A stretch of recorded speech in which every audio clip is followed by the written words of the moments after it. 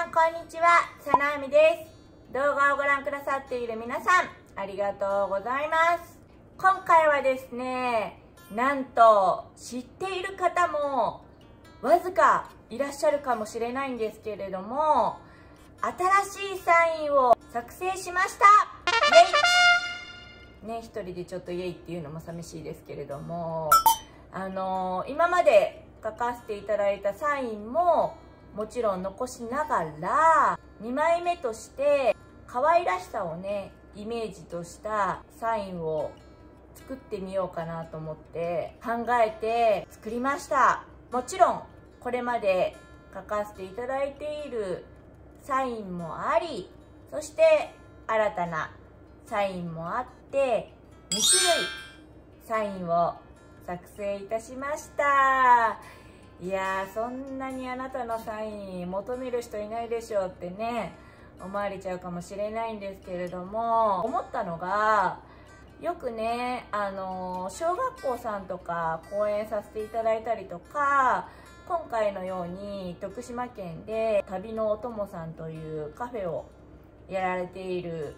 方とかそういった方たちに求めていただいた場合ちょっとね可愛らしいサインの方がなんか映えるかなと思って前々から考えていてですね作成しました。でこれまでのサインは企業さんとかそういった方たちに向けて書かせていただこうかなと思っております、まあ、私はですねあの左足の3本の指で文字を書くことができるんですね。これも何歳頃からだろう？もう幼い頃から母親ともう二人三脚のような形で特訓してそれで文字を書けるようになったんですけど、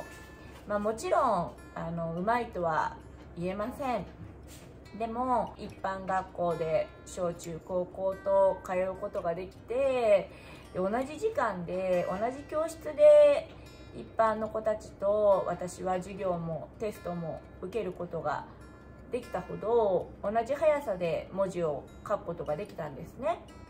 なのでもう結構前になるんですけど動画をご覧くださった方は知ってるかもしれないし講演会にご参加いただいた方はあ見たことあるって、ね、思い出してくださる方もいらっしゃるかもしれませんがまだまだ本当に左足の3本の指で文字は書けるの？って思ってくださる方はたくさんいらっしゃるかもしれないと思うのでなので今から色紙を2枚用意したのでこれまで書いているサインとそして新しく考えて作ったサイン書かせていただこうかなと思います。そしてその書いている姿をですね皆さんにご覧いただけると嬉しいです。ではご覧ください。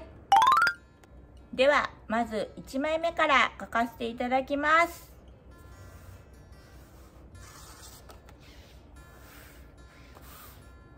まずは前から書かせていただいているサインを書かせていただきます。そう重しがいるな。目の前にあった袋をねちょっと置いて書いてみます。ちょっと見づらいかもしれない。ごめんなさいね。こっちに置けばいいのか。これでいいのか。いきますね。キャップは口でこのように開けます。書きます。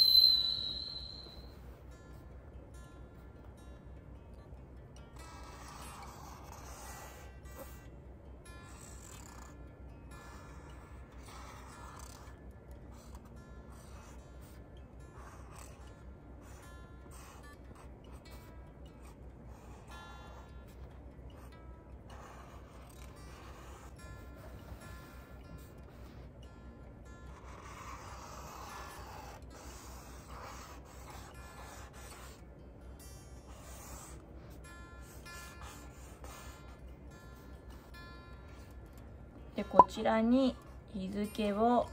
書いてでちょっと重しを下げて。で時間がある時は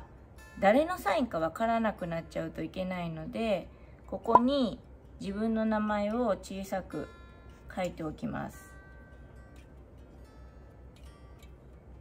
超有名な方だったらね書かないと思うんですけど私は書かないとこれ誰だったっけってねなられちゃうのでね。キャップする時は口使わずにもう足だけでこうやってやって音が鳴るまでこれでキャップができました。こちらが今まで書いているサインになります。それでは次は新しいサインを書かせていただきます。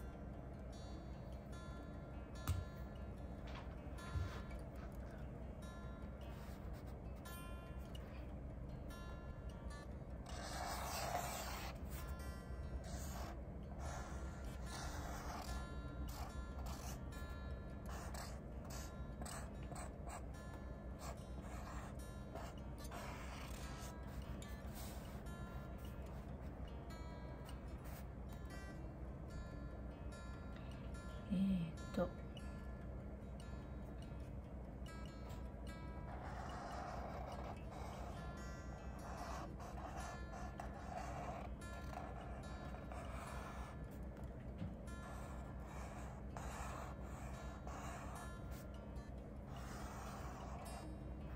ここまではね一緒のような感じじゃないって思うと思うんですけどここからちょっと変わります。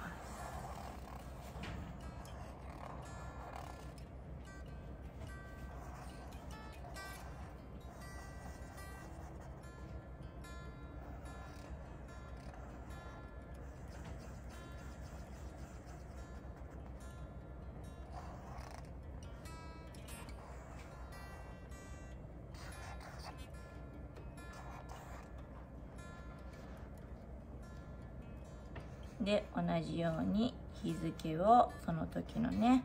書かせていただいてで誰かわからないといけないので名前を書いておきます。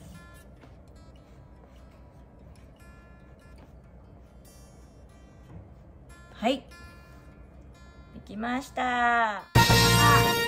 私が新しく考えた可愛らしさをメインにしたサインを書かせていただきました。なので持てるかな？クッション使うか？こういう感じです。でありがとうっていう言葉をですねいつもサインの上にね書かせていただくことが多いんですけどその講演会のテーマによってですね書かせていただく言葉はちょっと変えたりとかもしていて例えば笑顔とか支え合いとか夢とか諦めないとかそういったねあの文字を書かせていただいています。あと上にねちょっと余白があると思うんですけどそれはなぜかというと求めてくださった方のね宛名を書かせていただくために余白が空いています。なので通常はですねそこの余白にあの求めてくださった方のねお名前を書かせていただいています。前にねあのー、宛名なしでって言われたことあるんですけどあなんでかなと思って分かりましたと思ってねサインだけ書いたら後日メルカリで売られてました。笑える。とりあえずこれまでのサインと新しいサインとなります。もうちょっとねうまく書ければよかったな。って自分の中で反省はしております。というか毎回。はい。練習頑張ります。ありがとうございました。いや先ほどねあの言葉だけでも伝えてはいたんですけれどもサインのね上に宛名を書く余白を残してあると伝えさせていただきました。そこでですね、まあ、せっかく2枚書かせていただいて私自身はもちろん家族も私のサインはいらないんですよね。なのでもしよろしければこちらの動画をご覧いただいている方の中で欲しいって思ってくださる方がいらっしゃればですねプレゼントさせていただけたらなと思います。って言って2枚かよって思うかもしれないんですけれどもそれでもあの求めてくださる方がいたら嬉しいです。で応募方法はですね金網事務所の LINE 公式アカウントよりお名前住所そしてご連絡先はメールアドレスをご記入ください。そしてお問い合わせ内容という項目にぜひなぜ欲しいと思ってくださったのかとかあるいは私へのなんか伝えたいメッセージとかお気持ちとかもし何かあれば届けていただけたらなと思います。本当は一番に応募してくださった方にお届けしたいなって思ったんですけどやはり応募くださる方の中にはもしかしたらあのすぐにね文字を打つことができにくかったりとかそういったいろいろな方がいらっしゃるかもしれないので先着順っていうのは設けません。お問い合わせ内容の内容を拝見させていただいてそこであこの人にちょっとお送りさせていただきたいなって思った当選者2名の方にお送りさせていただけたらと思います。でよく当選した方には連絡が行くけど当選してない方には連絡はありませんっていう風なことってあると思うんですけどそれってわからないじゃないですか。当選したのか当選してないのか？なので私の場合はですねあのどちらに対してもメールはお送りさせていただきます。というのも当選者さんだけでなくやはり思いをね届けてくださっている方が全員なので一人一人の文章を読ませていただいてですねで事務所スタッフそして私のメッセージもつけさせていただいてメールにてお返事させていただけたらと思います。今ね公式アカウントはお仕事のご依頼のアカウントになっておりますので送っていただいたら自動返信の設定になってるんですね。なのでなんかご依頼やお問い合わせいただきありがとうございますみたいな形でちょっと自動の返信が来るかと思うんですけど、まあ、それはスルーしていただいてしっかりとお返事はさせていただくのでご安心ください。そして募集期間なんですけれども今日から1週間取らせていただきます。なので今日が10日なので17日まで。